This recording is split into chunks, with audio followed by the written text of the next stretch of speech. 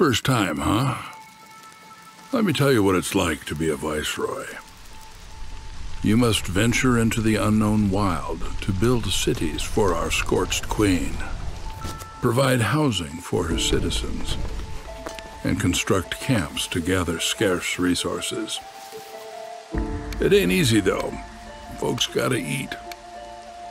You better farm every inch of fertile soil. In such harsh lands, exploration is key. Gather everything you can and fulfill your villagers' needs. You better not favor one species over another. Utilize their potential. You wouldn't send a lizard to the lumber mill, would you? Give them raincoats. And for the Queen's sake, prepare for the storm. Sometimes you'll fail.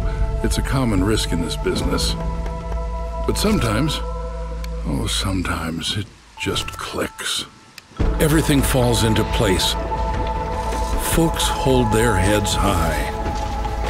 The flame grows ever larger. The yields are unlike anything you could imagine. The goods flow like a river. Nothing can stand in your way. It feels as if you were building ten cities all at once. It's like you're about to rebuild the smoldering city on your own. For her. Ah, but that rarely happens. Not as long as the forest has its say. It's so peaceful when you first settle here. Rich glades are full of resources, yours for the taking. But with every fallen tree, with every ancient site sacked, the forest grows angrier.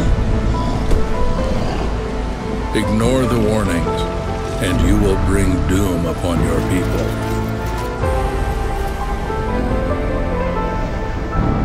So, my fellow, do you have what it takes to become a viceroy?